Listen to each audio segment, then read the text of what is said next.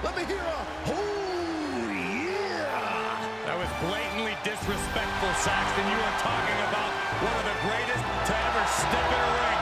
The madness has taken over WWE. And his opponent from Sarasota, Florida, weighing in at 239 pounds, Macho Man Randy Savage.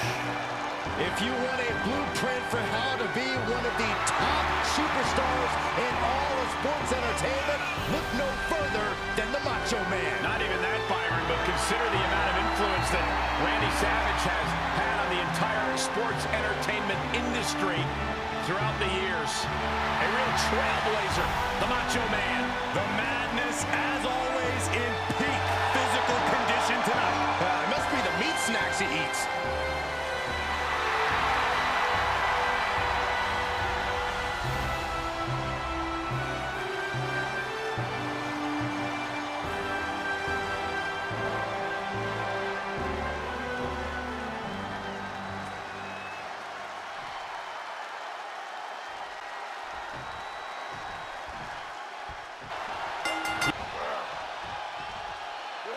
Scoop slam.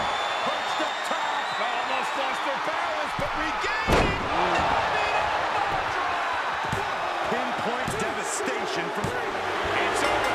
Here is your winner, Macho Man Randy Savage.